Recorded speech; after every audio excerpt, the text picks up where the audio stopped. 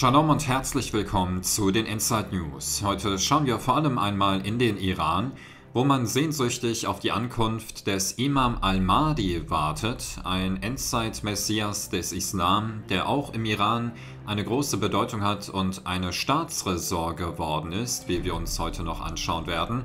Und diese islamische Endzeitfigur Imam al-Mahdi soll auch in Zusammenhang stehen mit dem Ukraine-Krieg und wie das Ganze zu bewerten ist anhand des Islam, anhand der Geopolitik und der Bibel. Das wollen wir uns mal anschauen. Wir starten mit einem Artikel vom 31. Juli letzten Jahres. Da heißt es, schiitische Muslime im Iran und auf der ganzen Welt glauben, dass Imam Mahdi lebt, unter den Menschen lebt und die Erlaubnis Gottes wartet, wieder zu erscheinen und die ganze Welt mit Gerechtigkeit zu füllen, nämlich indem die Scharia in der ganzen Welt verbreitet wird. Alle islamischen Konfessionen bezeichnen diese göttliche Person und dieses große und außergewöhnliche Individuum als Mahdi. Denken wir dran, auch der Antichrist gibt sich als Gott aus im dritten Tempel. Die schiitischen Muslime warten daher mit Begeisterung auf das Wiederauftauchen des Erlösers. Nun, wir wissen, für uns Christen gibt es nur einen Erlöser, nämlich Jesus Christus aber die Muslime warten auf den Imam al-Mahdi und der islamische Jesus, der im Islam gelehrt wird, im Koran geschrieben steht, ist nicht der Sohn Gottes, starb nicht für unsere Sünden, ist nicht unsterblich, ist nicht auferstanden und vieles, vieles mehr. Also das ist nicht der wahre biblische Jesus, an den die Muslime glauben. Und genauso glauben wir Christen natürlich auch nicht an den islamischen Jesus oder an den Imam al-Mahdi. In einem anderen Artikel vom 16. Januar dieses Jahres, da wird berichtet, Irans Besessenheit von den Juden und Israel wurzelt im Kult des Propheten Imam Mohammed al-Mahdi. Er wird sich am Ende der Zeiten offenbaren, in der Endzeit, bevor er schließlich das Böse besiegt und ein islamisches Paradies auf der ganzen Welt einläutet. Wie gesagt, das islamische Paradies auf der Erde ist gleichbedeutend mit der Scharia auf der ganzen Welt. Khamenei erhob den zwölften Schiismus zu einem zentralen Grundsatz seiner Herrschaft. Selbst wenn ihr mit direkter nuklearer Vergeltung gedroht würde, könnte die fanatische iranische Führung immer noch ihre Waffen abfeuern und die Zerstörung ihres Landes riskieren, wenn dies die Vernichtung Israels und die Rückkehr von Imam al-Mahdi bedeuten würde. Und wir wissen laut Daniel Kapitel 8, da geht es ja um die Endzeit, wird der Iran auch Krieg führen und letztendlich diesen Krieg verlieren, und zwar gegen den Westen. Da würde ich jedem empfehlen, Daniel 8 sich dazu nochmal anzuschauen. Und vielleicht ist ja Daniel 8 auch in Zusammenhang zu sehen mit der Ankunft dieses schiitischen Erlösers des Mahdis, den die Iraner ja so sehnsüchtig erwarten. Wir schauen uns den nächsten Artikel an noch vom 3. Mai 2022. Da wird nämlich berichtet, Irans Revolutionsgarden und, das aufkommende, und der aufkommende Kult des Mahdiismus, Raketen und Milizen für die Apokalypse. Hamas, Hisbollah und auch die Houthi-Rebellen, die von Ayatollah Khomeini angeführte islamische Revolution im Iran von 1979 sollte die politische Doktrin der Schiiten und des Mahdiismus grundlegend verändern. Vielleicht noch wichtiger ist, dass die Situation nach 2009 auch eine neue Dosis Radikalität gegenüber dem Mahdiismus in Khameneis engen Kreis einbrachte. Diese innere Elite von Hardline-Klerikern begann, alle zeitgenössischen Weltereignisse im Kontext zu betrachten. Der Mahdiismus und seine apokalyptische Weltanschauung von der Endzeit. Tatsächlich bekundete Ayatollah Golpejegani, der Leiter des Büros des obersten Führers, im, Jahr 2000, im März 2022 seine Unterstützung für Putins Invasion in der Ukraine und beschrieb sie als Auftakt zum Wiedererscheinen des Herrn des Zeitalters Imam Mahdi. Also für diese Hardliner der iranischen Ayatollah-Bewegung, die auf den Mahdi warten, ist der Krieg von Russland gegen die Ukraine da ist diese Invasion gleichbedeutend mit dem Auftakt zur Wiedererscheinung des Imam al-Mahdi, weswegen also der Iran und Russland auf jeden Fall stark verbündet sind und sich gegenseitig unterstützen, militärisch und geopolitisch und wirtschaftlich. Aktuell dazu ein Artikel mal vom 11. März, da heißt es Manöver im Golf von Oman. Russische Schiffe üben erneut mit China und Iran. Kriegsschiffe der russischen Pazifikflotte üben gemeinsam mit Einheiten aus dem Iran und China im Golf von Oman. Das Manöver soll bis Freitag dauern. Es ist nicht die erste gemeinsame Übung der Seestreitkräfte. Russland, der Iran und China hatten schon in der Vergangenheit gemeinsame Militärmanöver abgehalten.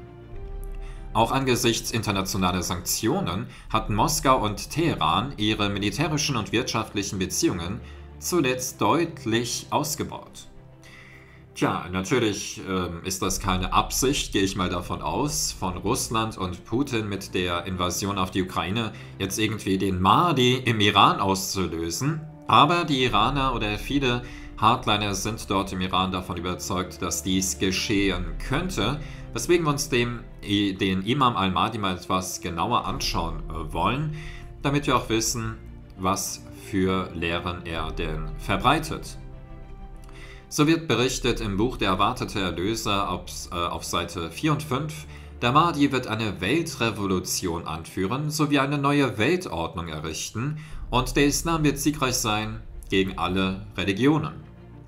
Gegenüber dem Judentum und natürlich auch gegenüber dem Christentum, was gleichbedeutend ist, dass das auf jeden Fall kein Erlöser ist aus Sicht der Bibel oder von uns Christen, weil wir diesen Mahdi als einen Antichristen bezeichnen müssen. Dann heißt es im Buch Al-Mahdi and the End of Time auf Seite 40, der Mahdi wird siegreich sein. Jerusalem wird der Ort des rechtsgeleiteten Kalifats und das Zentrum islamischer Herrschaft sein, angeführt vom Imam al-Mahdi. Durch die Hände des Mahdi wird die Bundeslade aus der Gegend des Sees Tiberias hervorgeholt und nach Jerusalem gebracht, um damit vielleicht auch die Juden zu überzeugen, an diesen islamischen Erlöser Imam al-Mahdi zu glauben. Und wir wissen ja, das Kalifat lange sozusagen an eine Machtposition des Osmanischen Reiches wurde abgeschafft und soll wieder durch den Mahdi eingeführt werden. Und das heißt, dieser Kalif, dieser Mahdi ist eine Art Papst für die ganze islamische Welt, Schiiten, Sunniten, und welche Sekten es äh, dort noch gibt. Und wir wissen, auch der Antichrist wird ja von Jerusalem aus herrschen, in den dritten Tempel sich setzen, als Gott ausgeben. Und so soll auch das Hauptquartier des Mahdi letztendlich Jerusalem sein. Dann heißt es in Sunan Abu Dawud, einem authentischen Hadith, der Prophet Mohammed sagte, der Mahdi wird von meinem Stamm sein und er wird sieben Jahre lang herrschen. Erstaunlicherweise laut dem Buch äh, Daniel, laut dem Propheten, wird auch der Antichrist sieben Jahre lang herrschen, was doch einige mal äh, bedenken sollten. Damit will ich nicht sagen, dass der Mahdi der Antichrist ist, aber laut Bibel werden ja viele Antichristen auftreten. Dann heißt es im Buch Doomsday Patents and Prophecies ab Seite 350, Jesus, der islamische Jesus Isa, wird das Angebot und die Einladung, die Muslime im Gebet zu leiten, nicht annehmen und sein Gebet hinter dem Mahdi verrichten, damit die ganze Welt eben erkennt, dass der Mahdi größer ist als Jesus, was natürlich laut Bibel nicht der Fall ist, denn der einzige, der größer ist als Jesus, ist der himmlische Vater. Weiter heißt es, Jesus, Sohn der Maria, nicht der Sohn Gottes, wird herabsteigen und sie führen und nach dem heiligen Koran und der Sunna des Propheten richten. Alle Menschen werden aufgefordert, den Islam bereitwillig anzunehmen, eine Alternative wird es nicht geben. Das heißt, der Jesus, an den die Muslime glauben, der ist mehr oder weniger ein Islamist, wird auf Grundlage des Koran richten, der Sunna, der Scharia und so weiter, was natürlich fundamental der Bibel widerspricht, weswegen auch dieser Isa, dieser islamische Jesus nichts anderes ist als ein falscher Prophet und ebenfalls ein Antichrist, der gegen den wahren Christus antritt und anstelle des wahren Christus Jesus der Bibel auftreten wird. Und wenn es keine Alternative geben wird, außer diesen Mahdi anzunehmen, wie wir lesen, dann heißt es, entweder nimmt man den Glauben dann an, den der Mahdi lehren wird, oder man ist schnell weg vom Fenster, um es mal so auszudrücken. Dann heißt es im Buch The Approach of Armageddon auf Seite 236, Jesus wird auf Erden verweilen, der islamische Jesus, das muss man immer dazu sagen. Der Mahdi wird die Muslime im Gebet leiten und Jesus wird sie nach dem heiligen Gesetz der Scharia regieren. Auch das widerspricht natürlich fundamental, wie gesagt, der Bibel, denn Jesus kommt laut Bibel mit der Torah wieder, dem Gesetz Gottes, des biblischen Gesetzes und nicht der Scharia, weswegen wir hier auf jeden Fall sehen, der Antichrist wird ja auch als Gesetzloser bezeichnet und wenn der Antichrist, der Imam Mahdi oder der islamische Jesus nicht die Torah hält, sondern die Scharia, dann ist er laut Bibel natürlich gesetzlos, weil er nicht dem Gesetz Gottes folgt, sondern dem, Gesetz des islamischen, koranischen Gottes Allah. Deswegen müssen äh, wir die Warnungen der Bibel ernst nehmen, denn wie gesagt, es kann sein, dass bald so eine Erlösergestalt in der islamischen Welt auftreten wird, vielleicht auch im Iran. Darauf setzen nämlich die Mullahs. Deswegen warnte der Apostel Paulus im 2. Korintherbrief Kapitel 11, Vers 4 und in Galater 1, Vers 8. Denn wenn der, welcher zu euch kommt, einen anderen Jesus verkündigt, einen islamischen Jesus, der die Scharia lehrt, nicht Sohn Gottes ist, nicht für unsere Sünden starb, nicht auferstand und sterben wird, denn das wird der islamische Jesus, er wird neben Mohammed begraben werden. Gotteslästerung laut Bibel. Also wenn jemand kommt und einen anderen Jesus verkündigt, den wir nicht verkündigt haben, oder wenn ihr einen anderen Geist empfangt, den ihr nicht angenommen habt, oder ein anderes Evangelium, das Evangelium Mohammeds, das ihr nicht angenommen habt, so habt ihr das gut ertragen. Aber selbst wenn wir oder ein Engel vom Himmel euch etwas anderes als Evangelium verkündigen würden, als das, was wir euch verkündigt haben, der sei verflucht. Ja, und denken wir dran, dass Mohammed ja angeblich seine Offenbarungen von Engel Jibril bekommen hat, von Engel Gabriel, was natürlich der Bibel widerspricht. Engel Gabriel sagte zu Maria, dass die Person, die Maria gebären würde, der Sohn Gottes ist aber der Islam leugnet, dass Jesus der Sohn Gottes ist, also auch Engel Gabriel, der islamische Engel Gabriel, laut Koran, Sure 9, Vers 30 zum Beispiel. Deswegen, wer das also lehrt und glaubt, eine andere Botschaft von einem Fake-Engel vom Himmel, von einem gefallenen Engel oder Dämon oder Djinn oder wie auch immer, der sei verflucht. Deswegen, es gibt nur einen wahren Jesus, nur ein wahres Evangelium, nur einen wahren Heiligen Geist und nur einen wahren Gott. Und all das finden wir nur allein in der Bibel wieder. Und wenn Muslime behaupten, die Bibel sei gefälscht, in der Tat so ist das, nämlich der Koran ist die Fälschung der Bibel, somit haben sie die Fälschung der Bibel in ihren eigenen Händen. Jesus sagte über die Endzeit und die Drangsal in Matthäus 24, Vers 24, denn es werden falsche Christusse und falsche Propheten auftreten und werden große Zeichen und Wunder tun, um wenn möglich auch die Auserwählten zu verführen. Es wird also nicht nur ein Antichrist auftreten, ein falscher Christus, den Jesus dann letztendlich selbst beseitigen wird, sondern viele falsche Christusse werden auftreten und falsche Propheten.